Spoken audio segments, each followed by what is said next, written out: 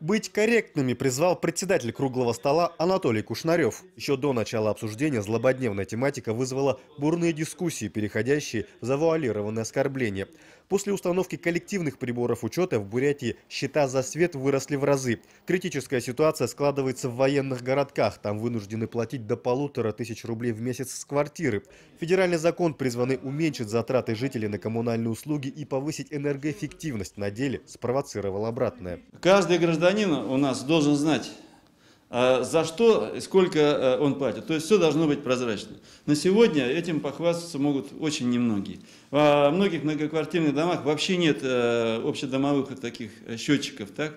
И этим пользуются определенные компании, которые, ну, будем так говорить, даже и, и обманывают. Поэтому э, хотим навести в этом порядок. Особое возмущение общественности вызывает учет чердаков и подвалов при расчете общедомовых нужд по электричеству. Энергосбыт считает с учетом подвала. Вот и вся песня.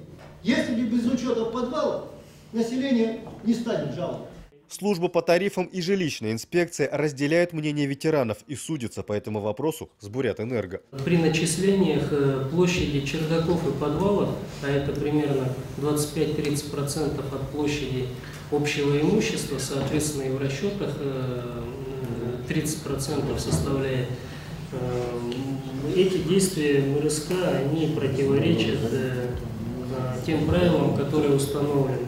Еще одним предметом судебного разбирательства стала откровенная война между подразделениями энергетиков. Бурятэнерго отказывается принимать данные от Улан-Удэ-Энерго. В итоге страдают простые жители. Улан-Удэ-Энерго взяли и поставили во всех домах приборы учета.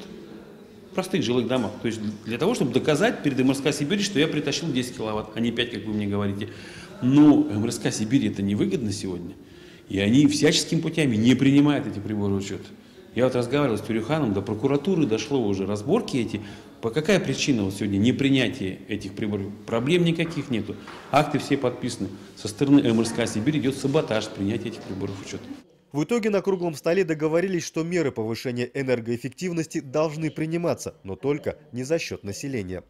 Сергей Соголов, Даржи Чайдопов. Новости дня.